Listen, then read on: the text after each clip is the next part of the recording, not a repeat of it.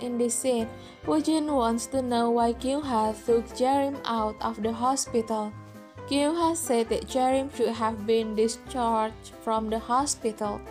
Then Kyunghwa said that Woojin was talking about was not important because the important thing was whether Woojin would be okay if the company was handed over to Wiju, whether Woojin would be okay if everything was taken and owned by Wiju.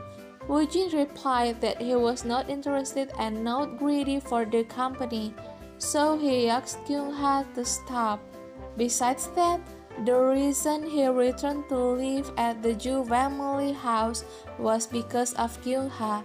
He warned Kyunghwa not to touch Jarim because if something bad happened to Jarim, Woojin would ask Kyunghwa to take responsibility.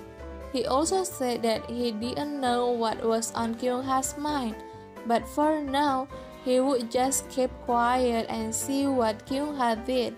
Then he also told Kyunghwa that he had gotten a lot of information more than he should have about Kyunghwa, but he didn't do anything because Kyunghwa was his mother.